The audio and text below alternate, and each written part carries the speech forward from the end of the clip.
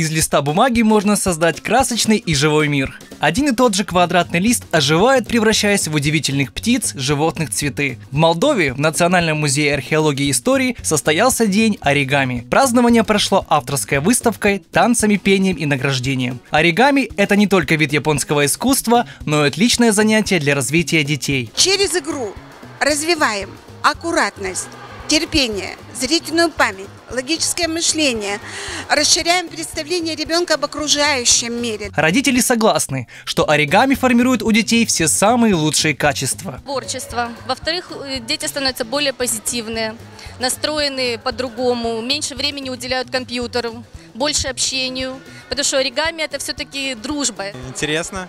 Это развивает способности творческие ребенка. Хорошо развивает мелкую моторику, а то, что делают дети руками, еще хорошо сказывается на их воображении, э, умственных способностях даже. Оригами развивает, вот на мой писательский взгляд, доброту, плюс еще теплоту душевную.